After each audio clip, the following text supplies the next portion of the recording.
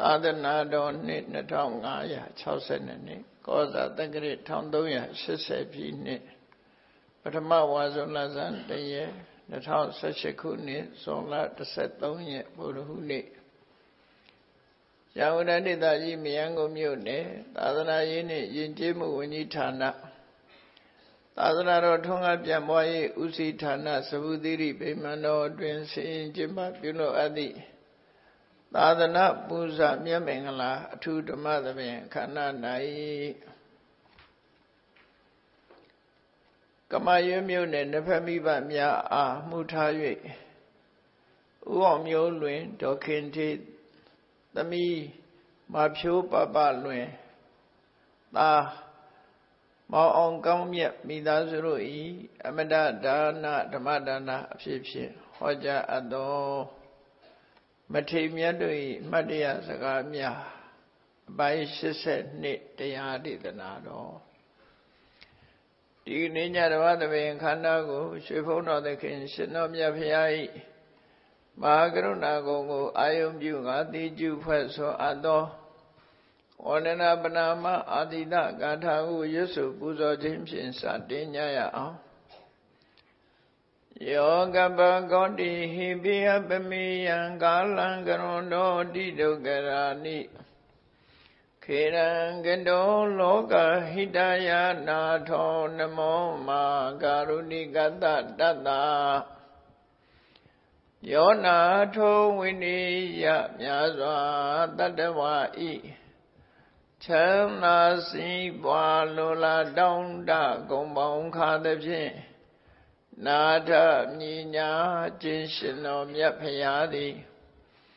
ကပ္ပကောတိဟိပိဂရေကဘာအရေးအတွက်သင်္ချာလို့ဖြင့်တော်လဲအဘယ်မေယံရည်တွေ့တိုင်းဒါဖော်ပြခြင်းငါမစွမ်းနိုင်ပါသောကာလလေးအတင်ချေသိမ့်နေကဘာရှင်ကြသောကာလပတ်လုံးလောကဟိတယတတလောကဤအကျိုးစီးပွားအလုံးက အတ္တိဒုက္ခရာနိဥ္စာအသက်ချင်းလဲအင်္ဂါမေတ္တာကြီးမှသမိသာနှင့်တထာဇနီဆွညင်ကြီးဟုကျက်တိထဝဲငါးသွဲအစုအလုံးခဲရင်တော်မူတော့ကိုကရွန်တော်ဘုရားဖြစ်ရန်ဤတန်ကျိုးကုန်အာထုတော်မူရသည်ဖြစ်၍ခေရန်လက်ချေမျက်လုံးအသက်ဆုံးလည်းရဲ့နှလုံးစိတ်ဝံကိုရောဤဗမန်ညင်တို့ ကတောဘဝဒါနကျိန်ဖတ်များစွာရောက်တော်မူခဲ့ရရှာလိပြီမဟာကရုဏီကတတတဝါများရင်ဝဲသားကဲ့သို့တနာချစ်ခင်မှာကရုဏာရှင်ဖြစ်တော်မူသောတသနာတသဝိနည်းများစွာတတဝါဤချမ်းသာစီးပွားလိုလားတောင်းတဂုံပေါင်းခါသည်ဖြင့် နာထမြညာထိုရှင်တော်မြတ်ဖရာအားဓမ္မောယုတိပြောင်းပြော့မန်ကိုလျော်၍ကရောယောကျိုးရှိခိုးခြင်းသည်အထုဘဝတုစင်စစ်မသွေဖြစ်ပါစေတည်း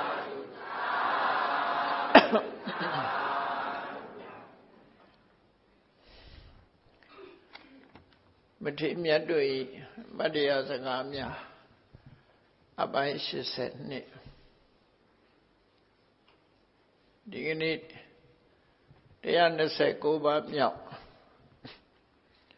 ခောရမမထေရဲ့အမှတ်တရစကားကစတင်ပြီးတော့နာယူကြရအောင်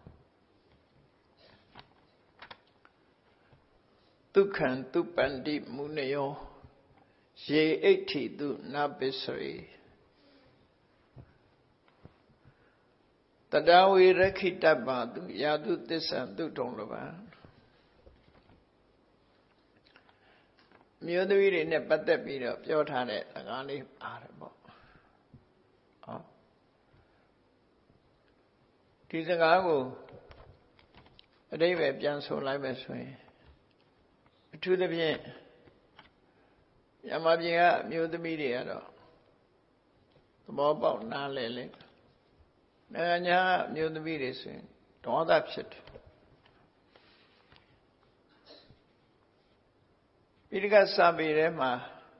အမျိုးသမီးနဲ့ပတ်သက်ပြောထားလို့ရှိရင်သိပြီးမကျေနပ်ကြဘူး discrimination ဆိုခွဲခြားဆက်ဆံနေဆိုတဲ့အယူဆနဲ့အဲ့လိုရှိတယ်မြမပြအမျိုးသမီးတွေကတော့ ဘုရားရဲ့ဆုံးမတွေကြားမှုနာဝရှိနေကြတာဖြစ်တော့သိပြီးတော့ဟိုရန်တွေ့တာသိမရှိဘူးပေါ့နော်နိုင်ငံညာအမျိုးသမီးတွေကတော့ရန်တွေ့တတ်တယ်အဲ့ဒါမျိုးတော့ပြောတော့နိုင်ငံညာရောက်တဲ့အခါမှာအထူးသတိထား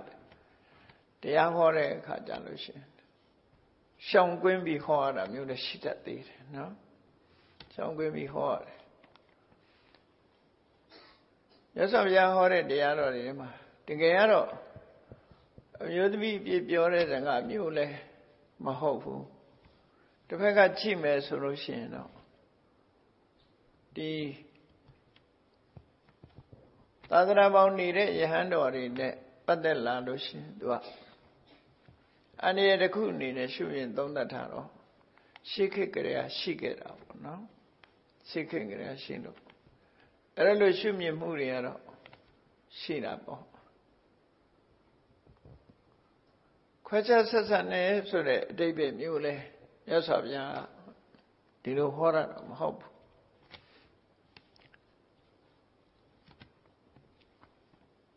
မြမပြေရောက်လာတဲ့အမျိုးသမီးတွေဟာမြမပြေဖရားတွေမှာအမျိုးသမီးမဝင်ရဆိုဆိုင်းမုတ်တွေရှိတယ် အဲဆိုင်းမုတ်တွေနဲ့ပတ်သက်လာရင်အတော်စိတ်ဆိုးတာသူတို့နောက်ပိုင်းတော့လဲဒါမြန်မာလူမျိုးတွေရဲ့ tradition မှာလို့ဆိုရင်တော့ကျင့်တတ်ပါတယ်အဲ့ဒါလို့မပြောဘဲနဲ့တောင်ပြောမြောက်ပြောပြောရင်တော့မကျင့်တတ်ကြဘူးသိပြီးတော့ဘုန်းကြီးတို့စီနေသလန်အဲမက္ကဆီကိုက မက္ကဆီကိုနိုင်ငံဆိုတာအမေရိကန်ရဲ့တောင်ဘက်မှာရှိတယ်စပိန်စကားပြောတာမက္ကဆီကန်လူမျိုးတွေအဲဒီမက္ကဆီကန်လူမျိုးတွေကတချို့ကဗုဒ္ဓဘာသာဖြစ်လာတယ်ဗုဒ္ဓဘာသာတွေရှိလာတယ်လူ30လောက်မျိုးသမီးတွေပါဝင်30လောက်မျိုးသမီးကများတယ်ဘုရားဘာသာဖြစ်စမျိုးသမီးတွေစကိုင်းရောက်လာတဲ့အခါကျ မိကုန်းနေမေးကြတဲ့ထဲမှာမျိုးသမီးတယောက်ကသူမကျေနပ်တာမန္တလေးမဟာမုနိဖရာကြီးဝင်ဖူးတဲ့အချိန်မှာမကျေနပ်ဖြစ်လာတာအဲ့ဒီမိကုန်းမေးတယ်။ဘာတွေ့လာတော့ဆိုဖရာကန္တကုရိတိုက်ထဲမှာအမျိုးသမီးမဝင်ရဆက်ဆိုင်မုတ်ကိုဖတ်လာအင်္ဂလိပ်လိုကလည်းရေးထားတာနော်အဲ့ဒီမှာသူကမေးတော့တာပဲဒါဗုဒ္ဓဘာသာအာဒီလိုလားတဲ့ ယောသမီးမဝင်ရလို့ဆိုယောသမီးတွေအတွက်တိတန်ကန္တထဒါဗုဒ္ဓဘာသာလားလို့ပြောတော့ဘုန်းကြီးကတော့အေးစေးစေးပြောတော့ဒါဗုဒ္ဓဘာသာမဟုတ်ပါဘူးလို့ဗုဒ္ဓရဲ့အဆုံးအမမဟုတ်ပါဘူးလို့ဒါက tradition မှာလို့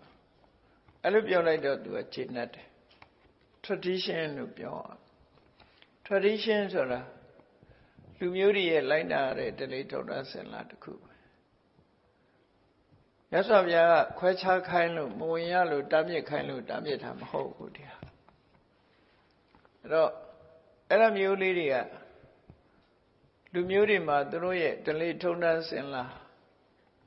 ရှင်ကျေးမှုရလိုက်နာကြရတဲ့ကျင့်ဝတ်ကလေးတွေတော့ရှိတာပေါ့အဲ့ဒီကျင့်ဝတ်တွေကိုအရာမျိုးသမီးမဝင်ရမယ့်နေရာဆိုတာကန့်တတ်တာမျိုးသမီးတွေကိုတက်တက် နှိမ်ပေါင်းနဲ့ပြောတာမဟုတ်ပါဘူးလို့ဒါ tradition ရမျိုးသမီးတွေမဝင်ဖို့တတိပေးတဲ့ဟာသာဖြစ်တာပါတော့ဆိုတော့အဲ့လိုကြတော့သူတို့လက်ခံနော်သူတို့စီမှာ discrimination ဆိုအထူးသဖြင့်အမျိုးသားအမျိုးသမီးခွဲခြားတယ်ဆိုလို့ရှိရင်ခွဲခြားတဲ့နေရာတနေရာတော့ရှိတယ်ဒီပြင်နေရာမှာခွဲခြားလို့မရ အဲ့နေရာကျတော့ပေါင်းခိုင်းလို့မရဘာတော့ဆို toilet အဲ့ဒါကျတော့ lady and gentleman ဆို lady နဲ့ gentleman အယုံနဲ့ကိုပြထားတာစာမဖတ်တတ်ရင်တော့အယုံနဲ့ပဲအဲ့တော့ lady ခန်းနဲ့ gentleman ဝင်လို့မရဘူး gentleman ခန်းနဲ့မှာယုသမီးဘုန်းတော်အဲ့ဒီနေရာကျတော့ discrimination မပြောဘူးသူတို့တိတ်နေတာအဲ့ကြပြောဘူးအဲ့ဒါလို့ လေစိတ်တွေမှာတွိုင်းလဲမှာတော့ခွဲခြားထားတာရှိသို့သောလေးမြန်မောမှာတော့ဒါခွဲတာမတွေ့ဘူးလေးမြန်မောကတွဲလိုက်ကတော့မျိုးသမီးမျိုးသားကိုခွဲခြားဘူးလေးစိတ်ကတွိုင်းလက်တွေမှာတော့ခွဲထားရှိအဲ့ခွဲထားတဲ့ဟာကြရင်တော့ရိုးရလို့ဖြစ်သွားတော့မပြောကြတော့ဒီပြည့်နေရာမှာခွဲခြားမယ်ဆိုလို့ရှိရင်ရန်တွေ့တယ်ရန်တွေ့တယ် discrimination ကြာမှခွဲခြားဆက်ဆက်နေဆိုတာဟာရိုင်းဆိုင်တဲ့အဓိပ္ပာယ်တစ်ခုရောက်ရှိသွားတယ်။အေးမြန်မာနိုင်ငံမှာဘုရားကျောင်းကနေမှာတော့ celibacy လို့ခေါ်တယ်။ပြမစရိယအကျင့်ကိုကျင့်တဲ့အခါမျိုးမှာသူများတန်တရားဖြစ်เสียအမျိုးတွေဖြစ်မှာဆိုလို့မဝင်ရဘူးမသွားရဘူး မသွားသင့်ဘူးဆိုပြီးတော့ tradition ကစပြီးတော့ဟိုသတ်မှတ်လာတဲ့နေရာမျိုးတွေသူတို့ဆိုလိုတာခွဲခြားဆက်ဆံတာမဟုတ်တဲ့အကြောင်းနောက်တစ်ခါဘိက္ခုနီတွေအကြောင်းနဲ့ပတ်သက်ပြီးဘိက္ခုနီတွေလိုက်နာရတဲ့စီမင်းတဲမှာလည်းပဲထို့တူပဲမျိုးသားမျိုးသမီးခွဲခြားထားတဲ့ပုံစံမျိုးလေးတစ်ခုရှိတယ်။ဝါတရားပဲရပါစေ အမျိုးသမီးဘိက္ခုနီဟာဒီကနေ့မှယဟန်ပြုလာတဲ့မျိုးသားယဟန်တော်ကိုချိုသိပေးရမယ်ဆိုတဲ့စကားကိုဂျာမနီကအမျိုးသမီးကြီးတယောက်ကမေးဘူးတယ်ဒါဟာတက်တက်ခွဲခြားပြီးတော့နှိမ်တဲ့အဓိပ္ပာယ်ရောက်တယ်ပေါ့လို့ပြောတော့အဲ့ဒါဟာလည်းပဲအကြောင်းရှိပါတယ်လို့ historical background ကိုကြည့်ရမယ်တချို့ကိစ္စတွေကြတော့မြတ်စွာဘုရားကမခွဲခြားခြင်းတော့လေခွဲခြားရတဲ့ကိစ္စမျိုးတွေ society မှာရှိတယ်ပေါ့အဲ့ဒီလိုလိုက်နာရမယ့်ဒီလေးထုံနာစင်လာတွေကိုမလိုက်နာပဲနဲ့လုပ်မယ်ဆိုရင်ဩော်တောင်းလဲဝိုင်းဆန္ဒပြတာခံရမှာဒါမြတ်စွာဘုရားလည်းပဲအဲ့ဒါပြစ်တင်ခံဒါကြောင့်မို့တချို့ကိစ္စတွေက society ရဲ့အတွေးခေါ်အယူဆနောက်ကိုလိုက်ပြီးတော့ကျင့်သုံးရတာလည်းရှိတယ်မြတ်စွာဘုရားတကယ် flexible ဖြစ်တယ်ဟုတ်လောကမှာလူလောကမှာနေပြီဆိုလို့ရှိရင်အကုသိုလ်မဖြစ်ဘူးဆိုရင်လိုက်လျောညီတွေအများရဲ့ယုံယုံကြည်မှုကိုမဆန့်ကျင်အောင်ဆန့်ကျင်မဲ့ဆိုလို့ရှိရင်မလိုလားဘဲနဲ့ပြဿနာတွေတက်တယ်ပေါ့အဲ့ဒါသူ့ကိုရှင်းပြရတယ် မြတ်စွာဘုရားပွင့်တဲ့ခေတ်ကိုကြည်လို့ပွင့်တဲ့နေရာကအိန္ဒိယအိန္ဒိယနိုင်ငံဆိုတာမြို့သားမျိုးသမီးခွဲခြားတဲ့နေရာမှာအလွန်ကြီးမားတဲ့နေရာဌာနတစ်ခုဖြစ်တယ်ပြီးတော့ဇက်ခွဲခြားပြီးဆက်ဆက်တဲ့နေရာမှာလည်းပဲအလွန်ကိုပြင်းထန်တဲ့နိုင်ငံဖြစ်တယ်လို့အဲ့ဒီနိုင်ငံမှာပွင့်ရတဲ့ဖះဟာ society ရဲ့ ဒလေးထုံတန်းစင်လာတွေကိုဖျက်လို့မရဘူးလို့ဖျက်လိုက်မယ်ဆိုရင်မလိုလားပဲနဲ့ပြဿနာတယ်ဘယ်ရာပဲဖြစ်ဖြစ် historical background ကိုကြည့်ကိုကြည့်ရမကြည့်ဘဲနဲ့ဆုံးဖြတ်ရင်လွယ်မှားအဲ့ဒီခေတ်ကလူတွေရဲ့ယုံကြည်ချက်အဲ့ဒီခေတ်ကလူတွေလက်ခံထားတာအိမ်မကောင်းတဲ့အစဉ်လာဆိုရင်တော့လက်မခံဘူးပေါ့မှာမြတ်စွာဘုရားရဲ့ဒီလက်ခံချက်တွေကအကုသိုလ်တွေဖြစ်တယ်ဆိုရင်တော့လက်မခံ အကုသိုလ်မဟုတ်ဘူးတသက်အဲအကုသိုလ်မဖြစ်တဲ့ကိစ္စမျိုးဆိုရင်တော့ဆိုဆန်တီရဲ့သဘောထားကိုလက်ခံဥပမာတစ်ခုပြောမယ်ဆိုရင်ရဟန်းတော်တွေဝါဆိုဝါကပ်ဗေရင်ကိန်းခနဲ့လိုက်ဆက်မလို့သို့သောပေမိတာရမင်းကြီးကဒီနေ့ဝါထမယ်ရှင်ဘုရားတို့ပထမဝါမဆိုးနဲ့အောင်ဒုတိယဝါကျမှဆိုပါလို့ဖះလျှောက်တယ် လျှောက်တဲ့အခါကျတော့မြတ်စွာဘုရား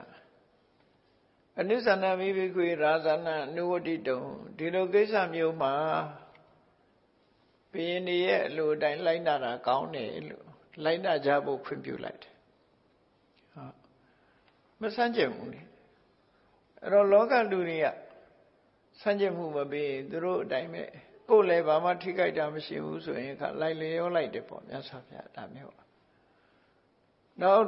လူတွေကတစ်ပင်ကိုအသက်ရှိတယ်ဇီဝရှိတယ်လို့ယူဆကြတယ်ဇီဝတင်ကြီးနောဟိမနုဿရောခသမိထိုခေတ်ကလူတွေကတစ်ပင်ခုံရင်ပဏာတိပတ္တကံထိုက်တယ်လို့ယူဆအဲ့ဒီမှာမြတ်စွာဘုရားရဲ့အဆုံးအမတရားတော်ထဲမှာတော့ဒါသက်မဲ့နော်အနုနိမတက်နဲ့တက်မဲ့ဆိုတဲ့ဟာကသူကဒီတက်ရှိတဲ့ဝါနဲ့မဟုတ်ဘူး တက်မဲ့ဖြစ်သည့်အတွက်ကြောင့်မြတ်စွာဘုရားရဲ့တရားတော်အရပါဏာတိပါဒကမထိုက်ဘူးသို့တော့လူတွေကသစ်ပင်ခုတ်တာကိုပါဏာတိပါဒကထိုက်တယ်လို့ယူဆသည့်အတွက်ကြောင့်မြတ်စွာဘုရားယဟန်တွေကိုမခုတ်နဲ့သစ်ပင်ခုတ်တာသစ်ပင်ကိုခုတ်လို့ရှိရင်ယဟန်တွေဟာပါစိတ်အာမတင်တယ်လို့ပြစ်မှုတစ်ခုသတ်မှတ်ပြီးတော့ပေးတာဒါအသက်ရှိတယ်ဆိုလို့ရှောင်ခိုင်းတာတော့မဟုတ်ဘူး သို့တော့မြတ်စွာဘုရားရဲ့ရည်ရွယ်ချက်ကလူတွေကအဲ့လိုထင်နေသည့်အတွက်ကြောင့်သူတို့နဲ့ဆန့်ကျင်မဲ့လုံးလို့ရှိရင်မကောင်းဘူးမဆန့်ကျင်တဲ့ဒီကိစ္စမခုတ်သည့်အတွက်ကြောင့်လည်းဘာမှမဖြစ်ဘူးတနည်းအားဖြင့်ဆိုရင် မခုတ်တာကပိုကောင်းတာဘာကြောင့်လဲလို့ဆိုရင်တစ်ပင်မှုမိခိုးနေကြတဲ့သရဝါတွေရှိတယ်မြင်ရတဲ့သရဝါမမြင်ရတဲ့သရဝါတစ်ပင်တစ်ပင်ခုတ်လိုက်ပြီဆိုရင်အဲ့ဒီသရဝါတွေဟာ အနေဆင်းရဲဖြစ်ကုန်ကြတယ်ပေါ့နော်ဒုက္ခရောက်ကြတယ်လူတွေပဲကြည့်လူတွေဆင်းရဲတာသာသိတာမုန်တိုင်းတိုက်လို့အိမ်ပြိုသွားပြီဆိုရင်အဲ့လူနေစားမရှိဘူးလေသို့သောလူတွေကတစ်ပင်ခုတ်လိုက်တဲ့အခါတစ်ပင်ပေါ်မှာရှိတဲ့အကောင်မလောင်နေဟာနေစရာမရှိအခက်ခဲတွေဖြစ်ကုန်ကြဟောဒီလိုအဲ့ဒါကြောင့်မလို့မခုတ်နဲ့တရားတွေကိုလည်းငဲ့ညတနာတဲ့နဲ့ဆိုရယူဆချက်နဲ့တစ်ပင်မခုတ်ရဘူးလို့ပြညတ်တာဖြစ်တယ်အဲ့ တော့ဘယ်ဟာပဲဖြစ်ဖြစ်မြတ်စွာဘုရား reasonable ရှိတယ်လို့ကြိုးကြောင်းစီလျော်မှုနဲ့လူလောကနဲ့မိတွေ့ပြီးနေရတော့ society ရဲ့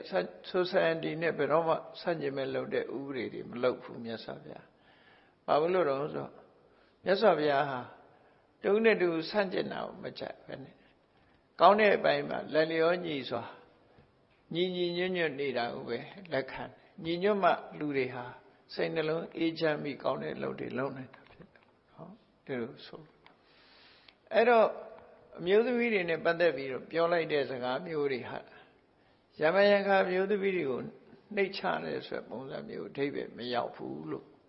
ကျွတ်တင်ပြီးတော့ပြောထားနော်ကျွတ်တင်ပြီးတော့ပြောထားအဲ့မှာဒီဂေါရမဆိုတဲ့ယဟန်က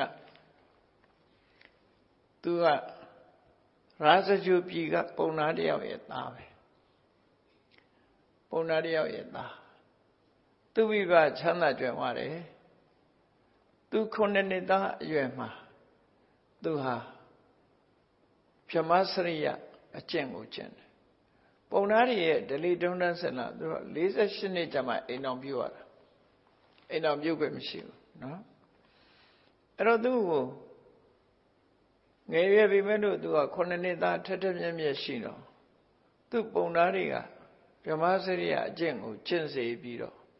ဘာလို့တော့ဆိုတော့ယရနာဘိခာငွေချေးအလှခံဆွမ်းခံတယ်လို့ခန္ဓာရှိတော့ဒါလူမျိုးတွေရဲ့ဒလိထုံတန်းစင်လာဆိုတာတော်တော်ထူးဆန်းတယ်အိန္ဒိယနိုင်ငံမှာခဏတိအောင်ရှိသေးတယ်ပြောတယ်ပိတ်ဖြူတွေဝိုးပြီးတော့ မြို့ထဲလှည့်လည်ပြီဆိုရင်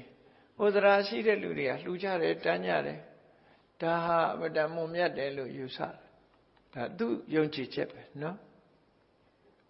မုံမြတ်တယ်လို့ယူဆပြီးလှူကြတယ်တခါတခါဟိုတွေ့တွေ့ဘူးပါလိမ့်မယ်တနည်းရတယ်ပဲအမှတ်မတင်တွေ့လိုက်တာရှိတယ်အိန္ဒိယနိုင်ငံမှာရှိတဲ့ချိန်ဖုန်ကြီးဆိုတည်တယ်ချိန်ဖုန်ကြီးကတော့ မိမွေးတိုင်းဖာမွေးတိုင်းအဝတ်မို့ဘူးဟောဘယ်နေရာမှခေါင်းကနေခြေထိအောင်ဘာမှမဟုတ်ဘူးမွေးမွေးတိုင်းတည်းအဲ့ဒီချိန်ဖုန်ကြီးကိုရံပြီးတော့အမျိုးသားတွေအမျိုးသမီးတွေမလုပ်တဲ့တော့မသိဘူးမြို့ထဲမှာလှည့်လှည့်လမ်းလျှောက်ကြတယ်ချိန်ဖုန်ကြီးကိုလှူကြတယ်တန်းကြတယ်ချိန်ဖုန်ကြီးဆိုတာရှိတယ်နော်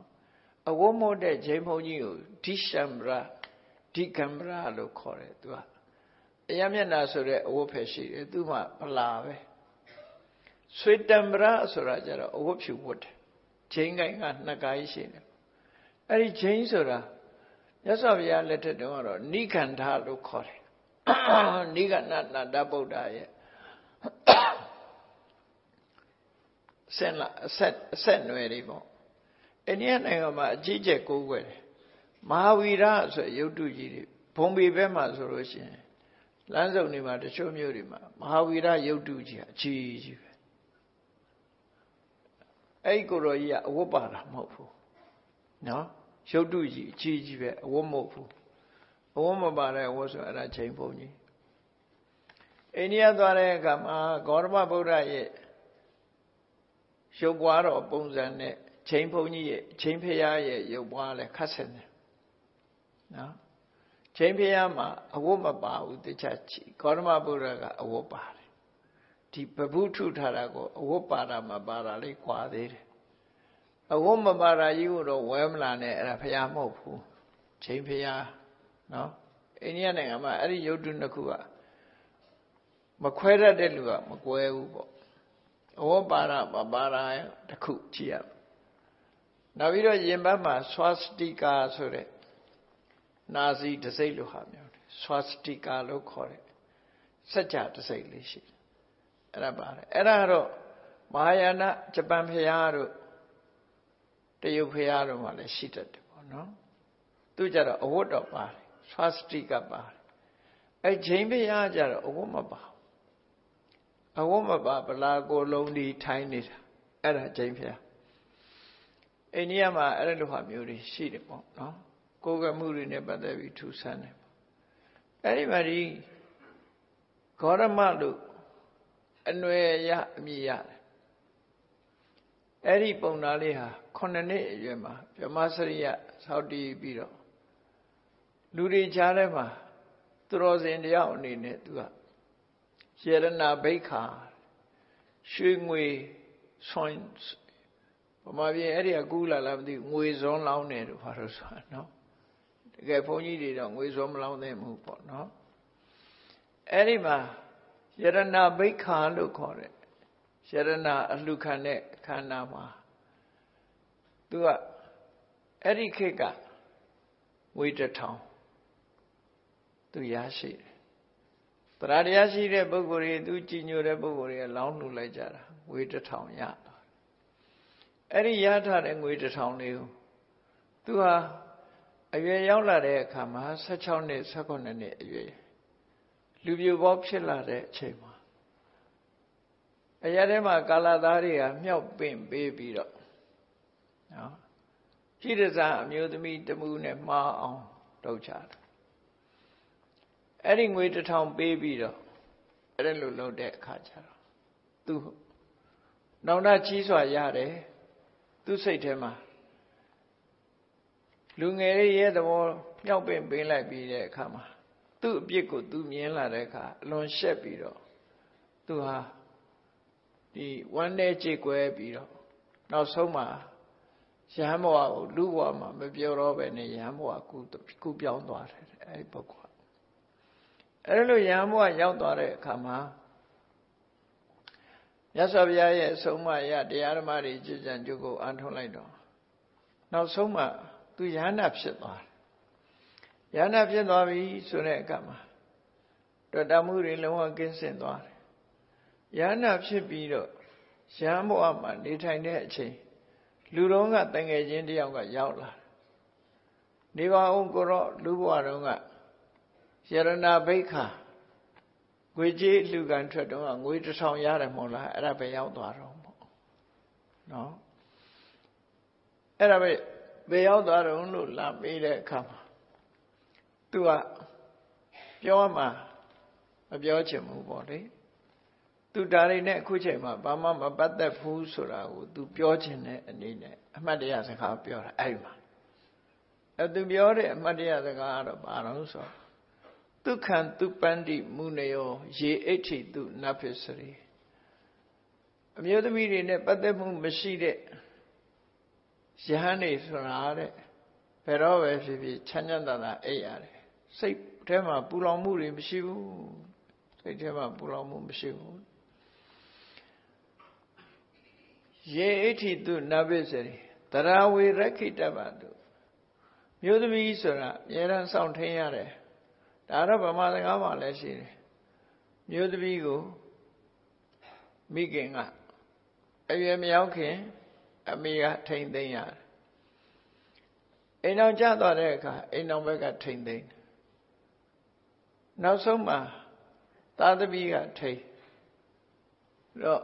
မျိုးသမီးဆိုတာစောင့်ရှောက်ထားရတဲ့အနေအထားမျိုးရှိတယ်လို့ဒီလိုဆိုလို့ရပေါ့တရားဝေရခိတ္တပါသူမြဲတမ်းထိမ့်သိမ်းစောင့်ရှောက်ထားရမယ်အနေအထားမျိုးရှိတဲ့အမျိုးသမီးတွေနဲ့မပတ်သက်ဘူးတဲ့ယာတုသစ္စာသူတုံလာပါ အမှန်တရားဆိုတာလည်းပဲဗဒမတွေ့ရှိရခဲ့တယ်အမှန်တရားဆိုတာဒီစကားတွေကဟိုစာထဲမှာရှိလို့သာပြောတာပါနော်အဲ့ဒီမှာကြားဘူးကြလာတော့မသိဘူးစာဖတ်ရင်တော့ကြားဘူးမှာပေါ့နော်ဟာတော့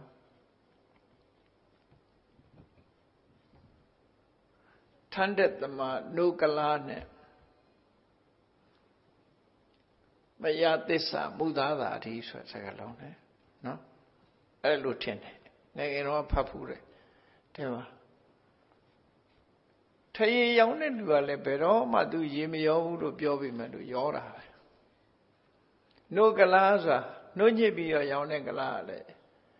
ရေမပါတာမရှိဘူးသူကနွားနှုတ်ညစ်ကြတဲ့ရေခံညှက်လိုက်တာတခါလေနွားနှုတ်ဟာလည်းရေနဲ့ရောတယ်ပေါ့ အဲရေမပါဘူးလို့ပြောရင်မူသားပဲနော်မန္တလေးမှာ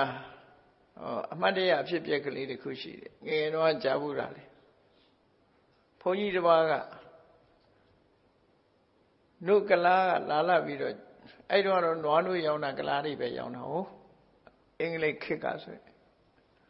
အဲ့မှာကျောင်းထဲမှာလာရောင်းတဲ့အခါကျတော့ မင်းနွားတို့ကစစ်ရလားဟာစစ်ပါတယ်ဆရာစစ်ပါတယ်ဆရာမင်းရေရောလာသလားအမရောပါအောင်လုံးဝမရောဘူးရေနွားတို့စစ်စစ်ပါငါကရေရောမှလိုချင်တာရေမရောရင်မလိုချင်ဘူးဆိုတော့နည်းနည်းတော့ပါတယ်လို့ပြောအဲ့ဒါလို့မပေါ်ပေါ်အောင်စစ်တဲ့ပုဂ္ဂိုလ်ရှိတယ်ငါနည်းနည်းတော့ရောမှကြိုက်တယ်မင်း ရေမပါဘူးဆိုရင်ငါမလိုချင်ဘူးဆိုတာနည်းနည်းတော့ပါပါတယ်လို့ပြောအစပရမတော့ရေမရောဘူးလို့ပြော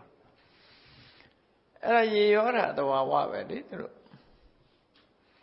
အဲ့ဒါတွေနဲ့ပတ်သက်ပြီးအခုဒီဂေါရမဆိုတာယဟန်တော်ငယ်စဉ်ကသူစိတ်နာခဲ့တဲ့အချက်တွေကိုပြန်ပြီးတော့ပြောပြတဲ့သဘောပဲ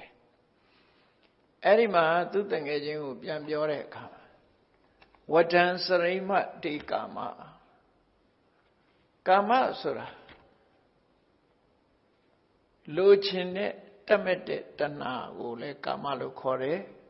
တတ်မဲ့စရာအာယုန်တွေကိုလည်းကာမလို့ခေါ်တယ်ပေါ့ကာမဆိုတဲ့လိုချင်စိတ်ဆန္ဒတွေဟာအဲ့ဒီဆိုဆန္ဒတွေကိုငါဟာအလုံးရှင်းပြလိုက်ပြီလို့ပြောတာငါမှတွေ့တာတတ်မဲ့တဲ့တဏှာကငါမှမရှိတော့ဘူး အနန္တဒါနိတေမယံငါတို့ဟာမင်းစီကကြွေးယူပြီးပြန်ဆက်เสียဘာမှမရှိဘူးငါတို့ကကြွေးကင်းတယ်ဆိုလိုတာကတတ်မဲ့နေတဲ့ပုဂ္ဂိုလ်တရားဟာကြွေးတင်နေတဲ့ပုဂ္ဂိုလ်လိုပဲတဲ့တွေ့တာနေရင်ကြွေးတင်နေတာပဲအမှန်လူကိုတွေ့တာရင်လည်းကြွေးတင်နေတဲ့သဘောပဲကြွေးတင်နေဆိုတဲ့သဘောတရားဟာဘလို့ဟာတော့ဆိုလို့ရှင် ကြွေးရှင်ကိုအမြဲတမ်းပြောတာကိုငုတ်ခံရတဲ့သဘောပေါ့အဲ့တော့တဏှာက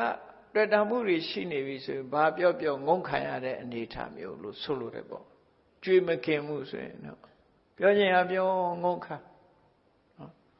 ကိုအမှမစွန့်နိုင်တာကိုကိုမစွန့်နိုင်ဘူးဆိုလို့ရှိရင်ငုံခံပြီးတော့အဲ့ဒါပြောတာအဲ့ဒါကြောင့်မို့ကြွေးလို့ပြောတာကာမိသနာကိုကြွေးလို့ခေါ်တယ် လူတွေဟာဘာပြောပြောခန်းနေကြရတာဟာမပြတ်နိုင်လို့ပဲဖြစ်တယ်ပေါ့သူဆိုလို့တယ်နော်ကျွေးရှင်ကပြောခြင်းသမျှပြောဆဲခြင်းသမျှဆဲကျွေးရှိနေတဲ့ပုဂ္ဂိုလ်ဒီငုံခံရုံပဲဟုတ်တယ်သူကျွေးရှိနေတာဟိုသူပြောသမျှပဲငါမှတဲ့အဲ့ဒီကျွေးမရှိတော့ဘူးတဲ့မင်းပေါ်မှာငါကျွေးမရှိဘူးတဏှာရာကငါမှမရှိတော့ဘူးလို့ဆိုလို့တယ်အနနာဒါနိတေမယ မယံငါတို့ဟာဒါနိယခုခါမှာအနနာကျွေးကင်းနေတဲ့ပုဂ္ဂိုလ်တွေဖြစ်သွားပြီဘသူကောမှကိုယ်ခန္ဓာကိုယ်ကြီးကိုလည်းလိုက်လျောစရာမရှိတော့ဘူးလူတွေဟာကိုယ်ခန္ဓာလေးကိုအလိုက်လျောနေတာဟာသူ့ပေါ်မှာတွေ့တာနေလို့လိုက်လျောတာလေကိုယ်ခန္ဓာလေးကိုလိုက်လျောနေရတယ်ဆိုတာအဲ့ဒါကျွေးရှင်မှုကျွေးရှိနေလို့ကိုယ်ကလိုက်လျောတာကျွေးဆိုတာ တဏှာဆိုတဲ့တွေ့တာမှုဟာကျွေးဖြစ်နေတယ်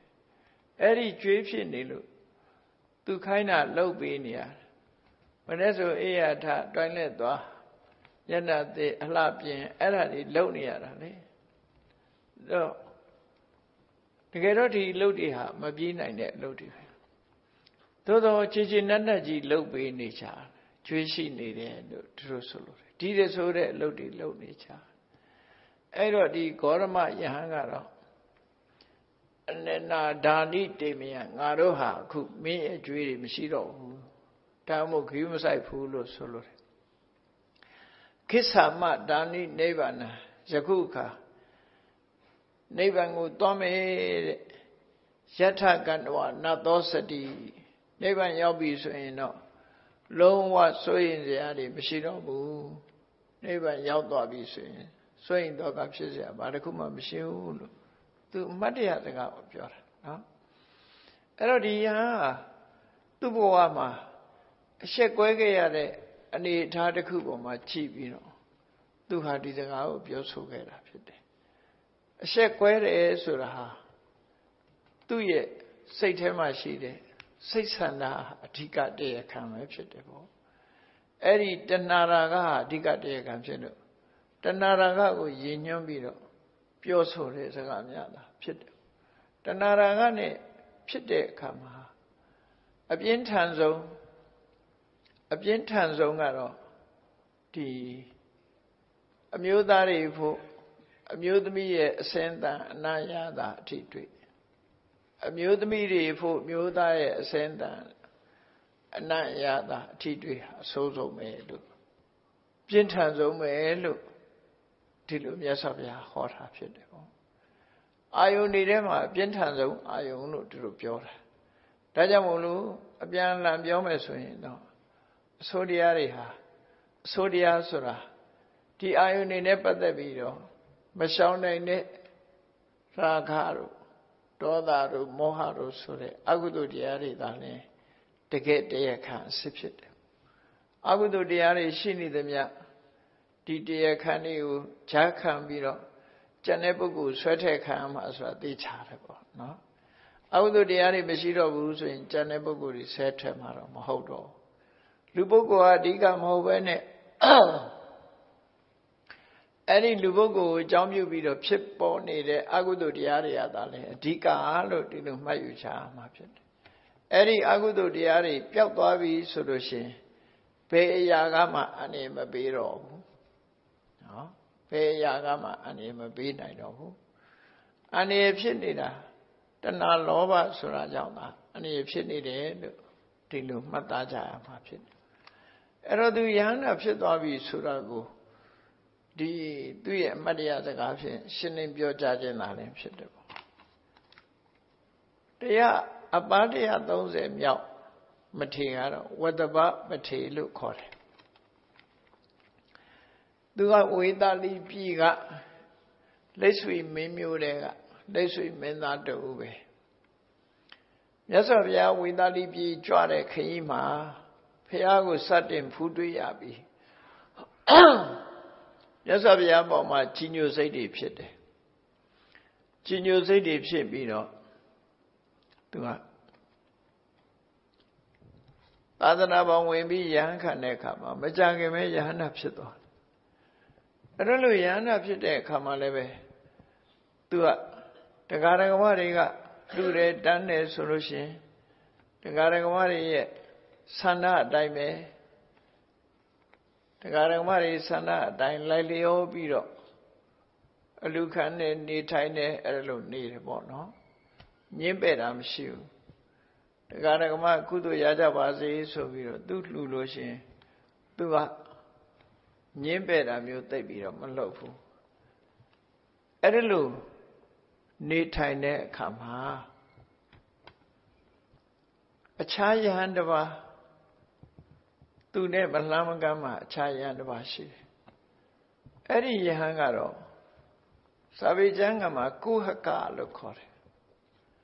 လိန်ညာပြီးတော့စားတာဒီလိုဟာမျိုးကလည်းခဏခေတ်တည်းလည်းရှိတာပါလေနော် လက်မေးမှာမျက်စိမိတ်ပြီးတော့ရက်နေတာတော့မတုံမလုံးရက်နေတာတော့ဒီလိုဟာမျိုးတွေပေါ့နော်ယဟန္တာရောင်ဆောင်းနေတာတော့အဲ့လိုလှုပ်ထမျိုးတွေကဒါကုဟကလို့ခေါ်တယ်လူတွေအထင်ကြီးအောင်တခုခုဟန်ဆောင်ပန်ဆောင်လုပ်တဲ့ဟာတွေကိုကုဟကလို့ခေါ်တယ်ရိုးရိုးမဟုတ်ဘူးဟန်ဆောင်ပန်ဆောင်လုပ်နေတယ်လူတွေကအထင်ကြီးလာတယ်ဒါတော့ယဟန္တာကြီးနေမှာပဲဒီပုဂ္ဂိုလ်အားဆိုပြီး အဲ့လိုအထင်ကြီးလေးစားပြီးတော့လူမှုတမ်းမှုရအောင်အဲ့လိုဟန်ဆောင်တဲ့ဟာတွေကဖះလက်ထက်ကလည်းရှိတာခဏိတ်ခေလည်းရှိမှာဘယ်တော့ဖြစ်ရှိမှာပဲဒါနော်လိညာစားဆောက်စားဆောက်တာသရောင်းစားတဲ့တဝါဒမျိုးတွေကရှိသေးတယ်သရောင်းစားတဲ့ဒီတော့မတွေ့ဘူးစကိုင်းမှာတော့တကလမ်းပေါ်မှာသရောင်းစားတယောက်ကချီကျိုးနေတဲ့တရံဆောင် တကယ်ကတော့နည်းနည်းလေးကွယ်သွားပြီပတ်စံလေးရရမလေးသွားတာမှမြန်နေလို့ဘာချီမှမကျိုးအဲတချို့ကလည်းလက်ပြတ်နေတဲ့ပုံစံဆောင်းတယ်လက်တစ်ချောင်းကိုကောက်ကွေးအောင်ထားပြီးတဲ့အခါကျလက်တစ်ဖက်မပါခြင်းအောင်ဆောင်းတဲ့သရောင်းစားလည်းရှိအိန္ဒိယမှာဆိုပိုးဆိုးတယ်အိန္ဒိယမှာခြေတော်လေးမြောက်လာတာတို့မျက်စိကိုတခါတည်းလှန်ထားပြီးတော့မျက်မျက်စိမမြင်တဲ့ပုံစံတို့အမျိုးစုံအဲ့လိုမျိုးတွေကိုကုဟကလို့ခေါ်တယ်ကုဟကလို့ခေါ်တယ် လိန်ညာပြီးတော့ကန်းညောင်ကျိုးချင်အောင်ပဲ့ချင်အောင်ဆောင်းပြီးတော့လူတွေတနာလာပြီဆိုတော့ပတ်စံပိုရအောင်လုပ်တဲ့ဟာမျိုးအဲ့ဒါကိုကုအကလို့ခေါ်တယ်လိန်ညာပြီးတော့လူထင်ကြီးအောင်လူလူတနာအောင်လုပ်ပြီးတော့ဆောင်းတဲ့ပုဂ္ဂိုလ်မျိုးတွေတဲ့အဲ့တော့ဒီဝဒဘဆိုတဲ့မထေကတော့ရဟန္တာပဲသို့တော့သူကဟန်ဆောင်ပန်းဆောင်ဘာမှမလုပ်ဘူး သူလှူရင်လှူတဲ့အတိုင်းပဲကြီးလိုက်မယ်ဆိုရင်သူကရဟန္တာရောက်ပေါက်ဘူးတဲ့ဘာလို့လို့ဆိုခါတိုင်းလူပဲသူကနေတာရဟန္တာယုံမပေါက်လူတော့ကအမှုကျင့်နိုင်ပဲပြောတာဆိုတာနေတာထိုင်တာလေးဟာအဲ့ဒီပုံစံဖြစ်နေလူတာလက်ခံနေအဲ့လိုနေတဲ့အခါကျတော့လူဆိုတာခေါင်းကောင်းပါပါကျင့်တာကိုပို့ကြိုက်တာနော်ပို့ကြိုက်တယ်ဖះလက်ထက်တုန်းကဆိုအဲ့ဒီကုဟကဆိုတာရှိတယ် အေးလူတွေမသိတဲ့အချိန်မှဆိုရင်တော့ဇမ္ဗုကဆိုတဲ့ပြပိုင်ဟာလေလူတွေမရှိဘူးဆိုရင်လူမစင်စားတာအဲလူတွေမြင်ပြီဆိုရင်ခြေတော်လေးတစ်ချောင်းမြောက်မြောက်ပြီးကောင်းကင်ကိုမော့ကြည့်ပါဇက်ကလေးဟာထားတယ်ဘာစားနေအောင်လေစားနေတာလေစားနေတာဘယ်ဥမာတွေဟာတွေစားထားသူစားတာလူရှိကြလို့ရှင်ဟာဆောင်တာပေါ့နော်ခြေတော်တစ်ဖက်ကလည်းမြောက်ထားသေးတယ် နှစ်ဖက်လုံးချလိုက်ရင်မြေကြီးပြိုသွားမှဆုံးလို့တယ်တော့အဲ့ဒီလိုပေါ့လူတင်ကြီးအောင်လုပ်ပြီးတော့ဟိုလုတ်လိန်ညာတာမျိုးတွေကလည်းရှိတာပေါ့နော်အဲ့ဒါမျိုးတွေကိုကုဟကလို့ပါဠိစပေမှာခေါ်တယ်အောင်ဝယ်တွေပြုလုပ်ပြီးတော့အသက်မွေးဝမ်းကြောင်းပြုလုပ်တဲ့ပုဂ္ဂိုလ်တွေယဟန်နေဆိုရင်ဒါမျိုးကလုံးဝမလုပ်ကောင်းတဲ့ဟာပေါ့နော်ယူသားဖြောင်းမရမယ်တရားတဲ့နီလနဲ့ပဲ ဆွမ်းခံရမယ်ဒီလိုဆိုလို့တယ်အဲ့ဒီမှာဝဒမမထေရရဲ့အနီးနားမှာကိုရောတဘာကဟန်ဆောင်ပန်းဆောင်သူကထိုင်းနေတယ်တရားတော်မတွေလူရင်လည်းသူကညင်းပယ်တယ်လွန်အလိုနေတဲ့ပုဂ္ဂိုလ်မျိုးပေါ့သူကတနေ့မှဆောင်းလေးတလုံးလောက်ကလေးပဲစားတယ်ရေတောက်ပြီးတော့ကျင့်နေတယ်ရေစွန်းစားနေတယ်ဆိုတာရှိသေးတယ်လေဘယ်လိုလုပ်ပြန်ရေကိုစွန်းလုပ်ပြီးစားလို့ရမှာ နော်ရေစွန်းစားရင်ရေချီယိုလားမယိုလားသွားချီအောင်စစ်ဆေးရလိမ့်မယ်နော်အဲ့လိုဟာမျိုးရှိတယ်ရေစွန်းစားနေတာလေစွန်းစားနေတာဟာလို့ရေစွန်းစားနေတာမဖြစ်နိုင်တာပေါ့နော်အဲ့ဒီလိုဟာမျိုးတွေနဲ့လိန်နာညလိန်နာညာရာမျိုးတွေနဲ့အဲ့ဒီလိုနေတဲ့အခါမှာ အဲ့ဒီပုဂ္ဂိုလ်နာလူတွေကဝိုင်းဝိုင်းလဲတကယ်ယဟန္တာအစ်စ်ကိုတော့ကိုတော့ယဟန္တာလို့မထင်ဘူးသူတော့ပုထုဇဉ်တို့ထင်ကြတကယ်ကတော့ဒီဝေဒဝမထေရယဟန္တာဟိုခုနကလိန်ညာနေတဲ့ကိုတော့ကပုထုဇဉ်ဟိုတကယ်ပါတရားမှမရှိဘူးအဲ့ဒါကိုသူ့နာလူတွေကဝိုင်းဝိုင်းလဲပြီးတော့ထင်နေချီးနေကြတယ်အဲ့ဒီမှာတရားမင်းကြီးကမနေနိုင်လို့ဆင်းလာ ဆင်းလာပြီးတော့လူတွေမှားကုန်မှဆိုသည့်အတွက်ကြောင့်ဒီကုဟကလိညာမှုရဲ့အထိပ္ပယ်ကိုဒီဝတ္တဗမထေရဟန္တာမထေကို မေးလျှောက်တဲ့အကြောင်းအရာလေးကိုအဲ့ဒါကိုဝတ္တဗမထေရဲ့အမတ်တရားစကားအဖြစ်မှတ်တမ်းတင်ထားတာဖြစ်တယ်။တရားမင်းကြီးကဘာမေးတော့ဆိုရင်ကိမ္ဗန္တိကုဟကောကရောတိ ကောက်ချစ်ဆင်းလဲပြီးလိန်နဲ့ညာရတဲ့ပုဂ္ဂိုလ်ဟာသူကဘယ်လိုအခြေအနေမျိုးကိုပြုလုပ်တတ်တယ်လဲလိန်တတ်တဲ့ပုဂ္ဂိုလ်၆ဘယ်လိုအခြေအနေဆိုးတွေဖြစ်တယ်လဲဆိုတာကိုဒီယဟန္တာဖြစ်တဲ့ဝတ္တဝပတိကတရားမင်းကြီးရဲ့အမေးကိုဖြေတဲ့အနေနဲ့ဖြေတယ်လောကလူတွေဟာအပေါ်ယံကြည့်ပြီးတော့ဟောအထင်လဲကြည့်ရတယ်အထင်လဲသိရတယ်ပေါ့ အဲ့ဒါနဲ့ပတ်သက်ပြီးတော့သူဖြေပုံကတော့ပုပ္ပေဟနတိအတ္တနာလိန်တယ်ဆိုတဲ့ပုဂ္ဂိုလ်တယောက်ဟာပထမတော့ကိုယ့်ကိုဖြည့်ဆည်းတာပဲဘာဖြည့်ဆည်းတာလို့ဆိုယောသားမှုပြည့်စည်သွားပြီလေလိမ်မှုကြိုးစားလိုက်တာနဲ့တပြိုင်နက်သူဟာယောသားတဲ့ဂုံဟာပြည့်စည်သွားတယ်အဲ့တော့ပထမဆုံးကိုယ့်ကိုဖြည့်ဆည်းတယ်တဲ့ပစ္ဆာဟနတိသောပရိ အဲ့ဒီကနေပြီးတော့ဉာဏ်နဲ့ဒုတိယကြတော့တခြားပုဂ္ဂိုလ်တွေကိုပါဖြည့်ဆည်းတယ်ဘယ်လိုဖြည့်ဆည်းတာလို့ဆိုရင်မမမကန်တွေကိုလက်ခံပြီးတော့ဟောဒီပုဂ္ဂိုလ်ကမှတကယ်ပုဂ္ဂိုလ်လို့အထင်ရောက်ပြီးတော့လှူချတန်းကြတယ်ဆိုတော့သူတို့ဟာတကယ်သူတို့စေတနာအကျိုးပြည့်ပြည့်ဝဝရရမယ်အစားအမှန်တရားကိုမသိသည့်အတွက်ကြောင့်သူ့ပေါ်မှာ အထင်ကြီးပြီးတော့လှူတဲ့တန်းတဲ့ဟာတွေကတလွဲတဲ့ချော်ဖြစ်ကုန်တယ်ပေါ့နော်သူတို့ကယဟန္တာထင်တဲ့တကယ်ကသူတို့ဟာယဟန္တာမဟုတ်ဘဲနဲ့ယဟန္တာလို့ထင်နေတယ်ဆိုရင်သူတို့ရဲ့တရားစိတ်တွေအသိဉာဏ်တွေကပျက်စီးကုန်တာပေါ့နော်လွဲမှားကုန်တယ်လမ်းမှားကုန်တယ်ဒါမို့ပစ္စာဟနတိတောပရိလိညာတတ်တဲ့ပုဂ္ဂိုလ်ဟာပထမကိုယ်ကိုဖြည့်ဆည်းပြီးတော့ဒုတိယသူတော်အားကိုဖြည့်ဆည်းတာဖြစ်တယ် သူဟန္တိသူဟတံဟန္တိအတ္တနာဝိတံသေးနေဝပက္ခိမာငှက်တွေကိုဖမ်းပြီးတော့တပ်ဖြတ်ရောင်းချတဲ့ငှက်မုတ်ဆိုးဟာတဲ့တဲငှက်တစ်ကောင်နဲ့တဲငှက်ဆိုတာသူမွေးထားတဲ့ငှက်လေးတစ်ကောင်အဲ့ဒီငှက်လေးတစ်ကောင်ကိုအကြောင်းပြုပြီးတခြားငှက်တွေကရောက်လာတယ်ပေါ့နော်ရောက်လာကြတယ်ဂျိုးတွေဆိုလို့ရှိရင် သူ့မွေးထားတဲ့ကဂျိုးကအော်တဲ့အခါကြံတဲ့ဂျိုးတွေကရောက်လာကြအဲ့လိုပေါ့ခါဆိုလို့ရှိရင်လည်းကြံတဲ့ခါတွေကရောက်လာကြတဲတဲကောင်တဲသမင်တို့တဲဂျိုးတို့တဲခါတို့ဆိုတာရှိတယ်ပေါ့နော်အဲ့ဒါလိုနဲ့တရိစ္ဆာန်တွေကိုဖန်ဆီးတပ်ဖြတ်တယ်အဲ့တော့ငှက်ပုတ်ဆိုဟာတဲ့တဲငှက်တကောင်နဲ့ကြံတဲ့ငှက်တွေကိုဖန်ဆီးတပ်ဖြတ်တယ်လို့တဲ့ ကိုယ့်ကိုလုံးဝဖြစ်စည်းပြီးသားဖြစ်သွားတယ်လိန်ညာမှုကြောင့်မကောင်းမှုအကုသိုလ်တွေလုပ်သည့်အတွက်ကြောင့်ထိုမကောင်းမှုအကုသိုလ်တွေကြောင့်အပိငရဲကြပြီးတော့ပျက်စီးဆုံးရှုံးမှုကိုယ့်ကိုဖြစ်စည်းနေတာပဲဖြစ်တယ်နောက်ဆုံးမှဒုက္ခရောက်မယ်လို့သူတို့ဆိုလို့တယ်ပေါ့နော်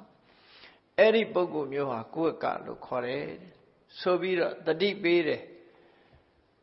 လူတယောက်ရဲ့ဒီအနေထားဆိုတာအပြင်ဘက်နဲ့မကြည့်နဲ့ နပြမနောပဟိဝန္နောမြင့်မြတ်ဖြူစင်တဲ့ပုဂ္ဂိုလ်ဆိုတာအပြင်မှန်းကကြည့်လို့မရဘူးတဲ့မြင့်မြတ်ဖြူစင်တဲ့ပုဂ္ဂိုလ်ဆိုတာအတွင်းဖြူစင်တာကိုကြည့်ပြီးပြောတာတဲ့သူဟာပြင်မဲကနေကြည့်ရင်ဘလောင်ဟန်ကောင်းဟိတ်ကောင်းနေပဲပဲ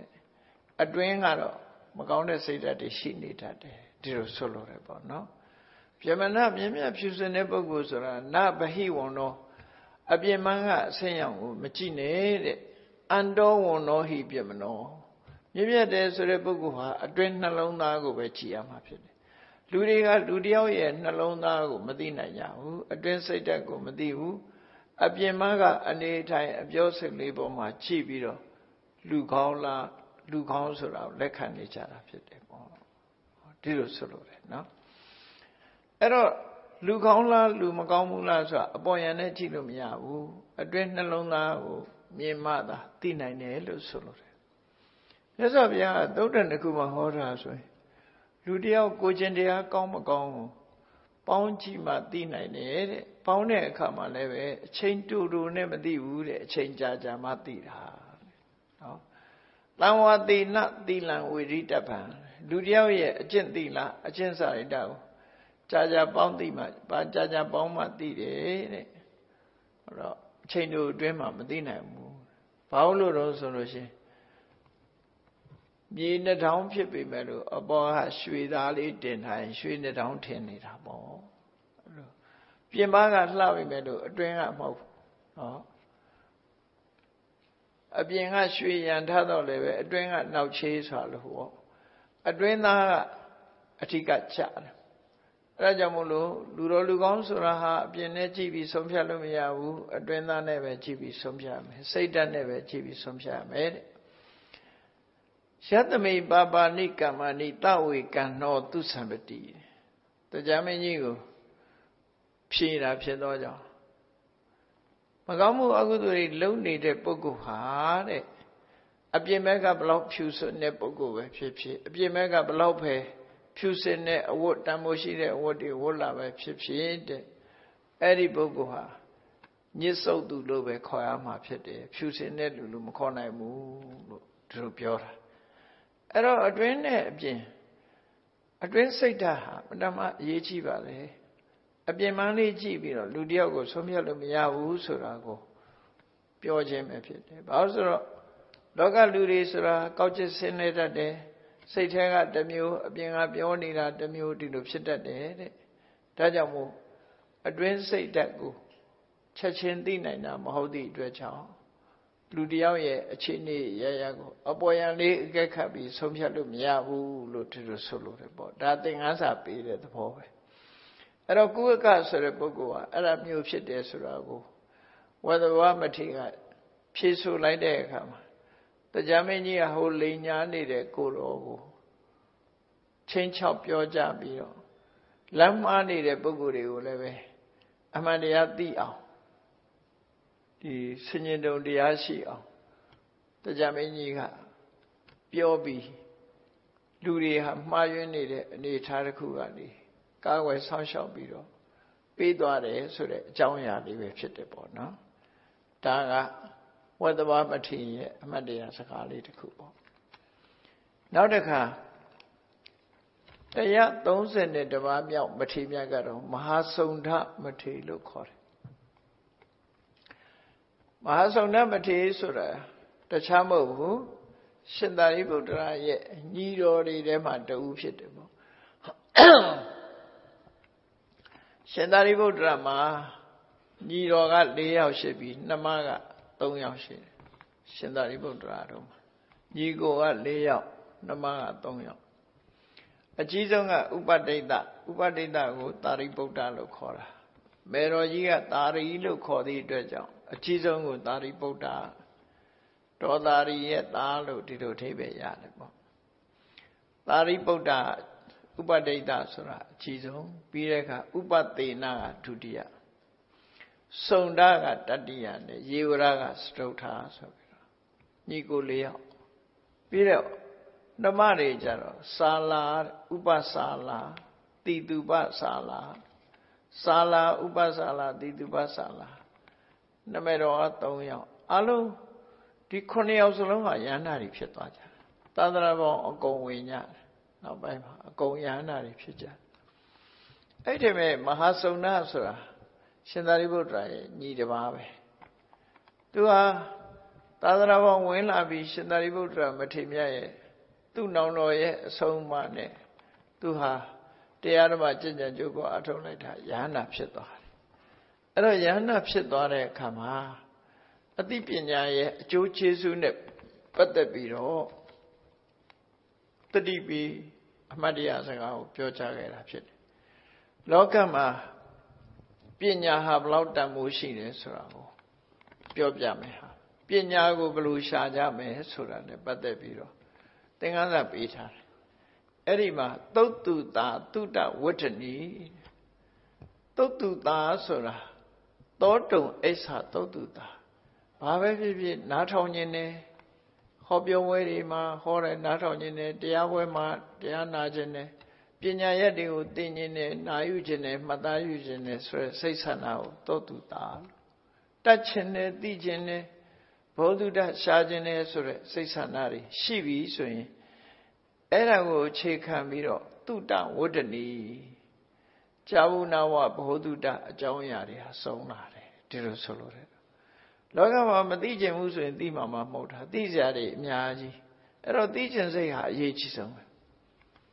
သိကျင်စိတ်ဟာအရေးကြီးဆုံးသိကျင်တဲ့ဆန္ဒဟာအရေးကြီးဆုံးသိကျင်တတ်ခြင်းတဲ့ဆန္ဒကိုအကြောင်းပြုပြီးတော့သုတလို့ခေါ်တဲ့ဒီအကြမ်းမြင်ဘောတုတ္တတွေဟာတိုးပွားလာတယ်တဲ့အေးတုတ္တံပညာယဝဒနာအဲ့ဒီအကြမ်းမြင်ဘောတုတ္တဆိုတဲ့တုတ္တတွေတိုးလာလို့ရှိရင်အသိပညာဟာလည်းတိုးတက်လာတယ်တုတ္တပေါ်မှာစဉ်းစားတဲ့အခါမှာပညာလို့ခေါ်တယ် လောကီမှာအခုသင်နေကြတယ်ကြောင်းနေတယ်ဘာလို့ထားတော့လို့မေးပညာသင်တယ်လို့ပြောကြတယ်တကယ်ကတော့ပညာသင်တာမဟုတ်ဘူးပါသင်တာတော့ဆိုရင် subject ကိုသင်နော်ရူပဗေဒဆိုတာရူပဗေဒ subject ကိုသင်နော် physics တို့ဓာတုဗေဒဆို capacity subject ကိုသင်အကြောင်းအရာတစ်ခုကိုသင်တာဒါပညာလို့မခေါ်ဘူးအကြောင်းအရာတစ်ခုကပညာမဟုတ်ဘူးအကြောင်းအရာသာလည်းဖြစ်တယ် တမိုင်းသင်တယ်ဆိုရင်တမိုင်းကပညာမဟုတ်ဘူးတမိုင်းဆိုတာအကြောင်းအရာတစ်ခုပဲလေဟင်းချက်နီးသင်တယ်ဆိုတာဟင်းချက်နီးကပညာမဟုတ်ဘူးအကြောင်းအရာတစ်ခုပဲသင်ဆိုလိုတာကလောကလူတွေသင်နေကြတာတွေကပညာသင်တယ်လို့ပြောနေတော့လေဘာသင်တာတော့ဆိုရင် subject matter ဒါမှမဟုတ်အင်္ဂလိပ်လိုပြောတဲ့အခါကျတော့ဘာ subject တုံး major subject လား minor subject လားလို့ subject လို့ပြောတာအဲ့ကြတော့ပညာလုံးမပြန်ဘူးเนาะ အကြောင်းအရာတစ်ခုကိုသင်တာအဘိဓမ္မာသင်တယ်ဆိုတာလေအကြောင်းအရာသင်တာပဲလေပညာမဟုတ်သေးဘူးအဲ့ဒါကြောင့်ပညာဆိုတာကြတော့ခုန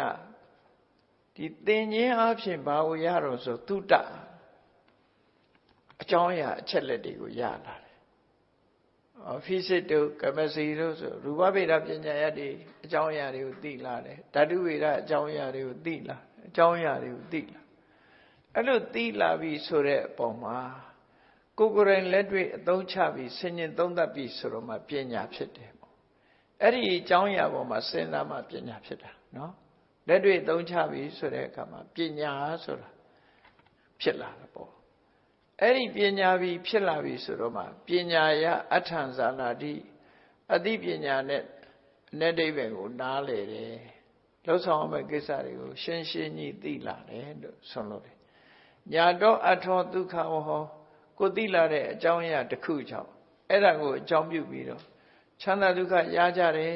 ဒီလိုဆိုလို့တယ်ပေါ့နော်စီးပွားပညာတတ်ထားတဲ့ပုဂ္ဂိုလ်တယောက်ဟာစီးပွားပညာစီးပွားဆိုတာအကြမ်းမြင်ဘောဓုတတခုပဲအဲ့ဒီစီးပွားရေး economic ကိုသင်ပြီးတော့တကယ်စီးပွားလုပ်လို့အောင်မြင်လာပြီစီးပွားလုပ်ပြီဆိုတဲ့အခါကျတော့ပညာဖြစ်လာတယ် အဲ့ဒီပညာနဲ့မှကြီးပွားတိုးတက်လာတယ်လို့ဆိုသူလုပ်တဲ့လုပ်ငန်းမှန်လာတယ်ဒီလိုဆိုလို့တယ်ပေါ့နော်အဲ့ဒါကိုကွဲဖို့လိုတယ်ကျောင်းမှာသင်တာ subject matter ကိုသင်တယ်အဲ့ဒီ subject matter ပေါ်မှာဆင်ញင်သုံးသပ်ပြီးတော့ကြည့်မှပညာဆိုတာဖြစ်တယ်သို့တော်လူတွေဟာကြော်ပြီးတော့ subject ကိုပဲပညာလို့ခေါ်လိုက်ကြတာပဲဖြစ်တယ်ပေါ့အေးအဲ့ဒါကိုပြောတာသုတ်တုတသုတဝဋ္ဌနီ တင်ញင်တယ်သိခြင်းတယ်ဆိုတဲ့ဆန္ဒဟာတုတ္တကိုအကြောင်းအရာတွေကိုတိုးပွားစေတယ်စာဖတ်တော့သိတယ်အကုန်လုံးသိလာတယ်တုတ္တပညာယဝဒနာအဲ့ဒီတုဒ္ဒတွေဟာအသိပညာကိုတိုးပွားစေတယ်ပညာရအထဇာနာတိအဲ့ဒီပညာဖြင့်တကယ်ကတော့အထိပ္ပယ်တွေအလုံးကိုနားလဲတယ်ကိစ္စတွေကိုအကုန်သဘောပေါက်တယ်ညာတော့အထောသိခါဘောကိုကိုယ်တိုင်သိရှိနားလဲထားတဲ့ ကိစ္စတွေကိုဆောင်ရွက်တဲ့အခါမှာအလွယ်တကူအောင်မြင်ပြည့်စည်ပြီးချမ်းသာဒုက္ခရတယ်လို့သူတို့ဆိုတယ်ပေါ့နော်ဒါပြင်ဟုတ်ပြီအဲ့ဒီလိုအသိပညာရအောင်ဓမ္မနဲ့ပတ်သက်တဲ့အသိပညာရဖို့လောကီနဲ့ပတ်သက်တဲ့အသိပညာတွေရဖို့ဆိုရင်ဘာလို့ရမလဲဆိုတာကိုပြောသေဝေထပဏ္ဏနိသေနသနာနိ ဒါယဟန်တန်ဃာတွေကိုဥတည်ပြီးပြောတဲ့အခါမှာလောကီပညာလောကုတ္တရာပညာစန္တရားမေတ္တရားဆိုတဲ့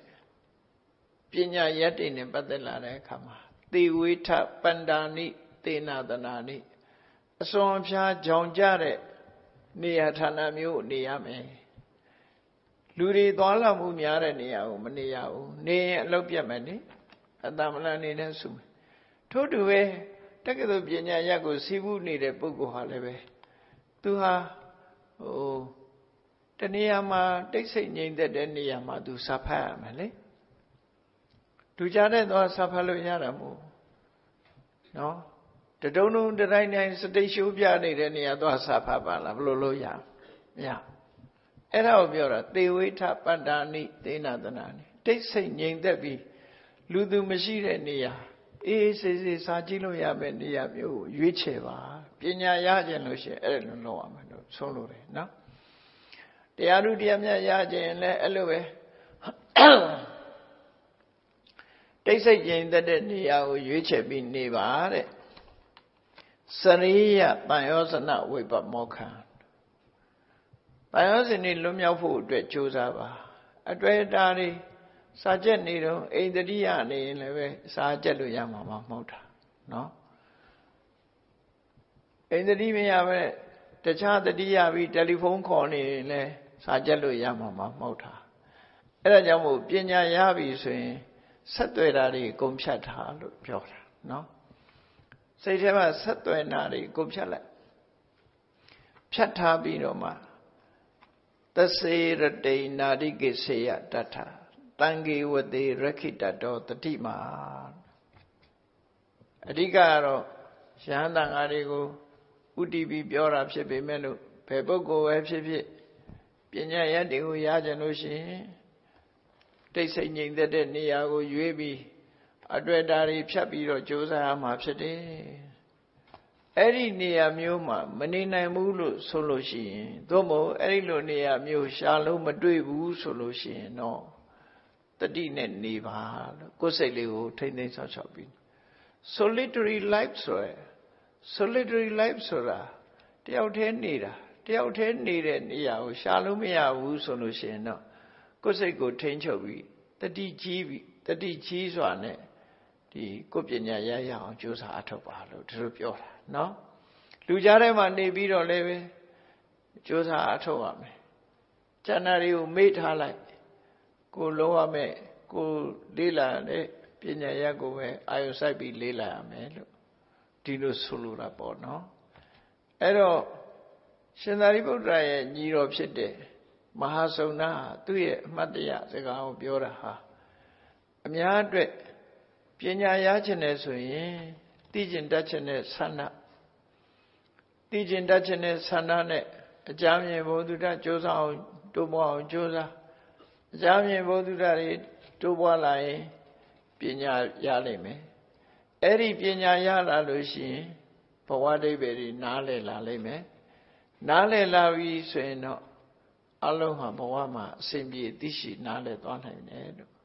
အဲ့ဒီပညာရဖို့အတွက်ဘယ်လိုလေ့ကျင့်ရမလဲဆိုရင်ဖြစ်နိုင်လို့ရှိရင်တူတဲ့တိတ်တိတ်ဆိတ်ဆိတ်နေမဲ့နေရာမျိုးကိုရွေးပါအတွေ့အတာတွေအလုံးကိုဖြတ်တောက်ပြီးတော့ ပညာရှာပါလို့ဒီလိုဆိုလို့မရနိုင်ဘူးဆိုရင်တော့တတိထားပြီးတော့ရနိုင်တဲ့နေရာမှာနေပြီးတော့ကြိုးစားပါလို့ဒီလိုပြောလို့တာပဲเนาะလောကီပညာလောကုတ္တရာပညာဘယ်ပညာပဲဖြစ်ဖြစ်ဒီပုံစံနဲ့ပဲကြိုးစားအထောက်ကြရတာဖြစ်တယ်ပေါ့ဒါတရား31ပါးမြောက်မဟာစုံနာမထေမြတ်ရဲ့အမှတ်တရစကားပဲဖြစ်တယ်အာလုံးဂေါရမက ဂေါရမမထေရဲ့အမှတ်တရစကားဝတ္တဝမထေရဲ့အမှတ်တရစကားမဟာစုံဒမထေရရဲ့မတ္တရစကားများဟာမိမိတို့ဘဝနဲ့ဆက်ဟပ်ပြီးတော့တတိပေးပြောကြတဲ့အမတ္တရစကားများသာဖြစ်တယ်ပေါ့ဒီမတ္တရစကားတွေကိုနိုင်ယူမှတ်သားပြီးမိမိတို့မှာဘဝသင်္ကန်းစာရအောင်ကြိုးစားအထောက်ကြမှာဖြစ်တယ်လို့ကိုယ်စီကိုယ်စီနှလုံးသွင်းပြီး ဘဝသင်္ကန်းစာနဲ့ဓမ္မအမြင်ရရှိအောင်ကြိုးစားအထောက်နိုင်ကြပါစေကုန်သတည်း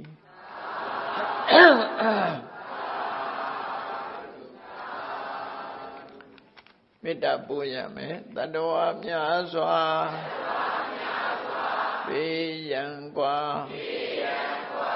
ချမ်းသာကြပါစေတတဝများစွာ ဘေးရန်ကွာချမ်းသာကြပါစေမေတ္တာရည်ချမ်းသုံးငါဖြံငြိမ်းချမ်းကြပါစေမေတ္တာရည်ချမ်းသုံးငါဖြံငြိမ်းချမ်းကြပါစေ သက်ရှိချမ်းမာစိတ်ချမ်းသာလိုရဆန္ဒပြည့်ပါစေသက်ရှိချမ်းမာစိတ်ချမ်းသာလိုရဆန္ဒပြည့်ပါစေ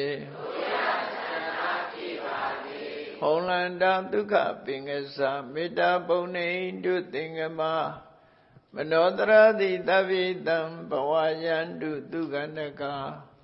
မေတ္တာပုံနေတုသင်္ကမစုပေါင်းဖို့အမေတ္တာတဟုရောင်မြူပဝင်းငွေလာမင်းနှင့်ရောင်ခြင်းရှေယုံပေါင်းဆောင်ရခြင်းကြောင့်သဗ္ဗေသံကျွမဲ့ဥဒ္ဓုံလုံးစုံများစွာတတ္တဝါတို့၏မနောတရတိမြင်မြန်ဖြူစင်အေးကြည်လင်းသည့်ရေစဉ်ပြည့်တင်းစိတ်နှလုံးတည်ဟုသောရေအိုင်ကြီးအတွင်၌ ဒုက္ခပင်အစာစင်ထောရအေမြကြည်သာတာယာပွင့်လန်းချမ်းသာဒုက္ခအဓိဟုသော ကုမုဒ္ဒရာကြာပန်တို့သည်ဖုံးလန္တဝန္တရွှေမြူဝမုံလူလျက်ကြည်နူးဝဲကြုံဖူးပွင့်ညကုန်သည့်ဖြစ်၍ဒုက္ခနဂါလီအောင်လီတဲ့ရောရှေအသင်ပြန်ပိတိတိဟုသောယနန်တို့သည် ဘဝယံတုကောင်းစွာမဲ့သွေကြိုင်လိုက်၍နေကြပါစေကုန်တည်း